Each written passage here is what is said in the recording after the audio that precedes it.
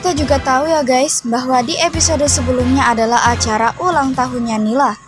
Namun, Starla benar-benar merasa sedih dan kecewa kepada Nico ya guys Karena Nico ternyata tiba-tiba saja menghilang menghadiri ijab kabul yang akan ia lakukan bersama dengan Ayu Starla yang tidak mengetahui hal itu pun kembali berpikiran yang tidak-tidak tentang Nico Starla takut ya guys, bagaimana jika nantinya Nico akan menemui Ayu lagi karena Ayu sendiri pun telah mengatakan bahwa nampaknya ia akan segera merebut Nico lagi dari dirinya.